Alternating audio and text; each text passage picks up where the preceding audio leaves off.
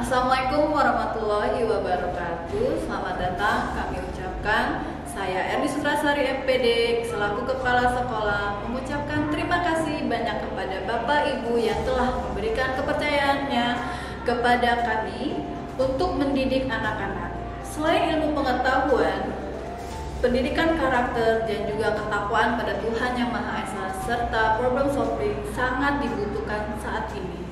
Oleh karena itu, perlunya kolaborasi antara guru, karyawan, dan semua warga sekolah itu sangat dibutuhkan. Oleh karena itu, kami mengharapkan kerjasama Bapak Ibu dan supportnya.